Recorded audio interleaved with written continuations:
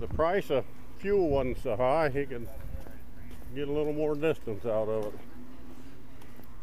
I fell short of the landing. Anything else you want to say about it? 810 right now. Yeah.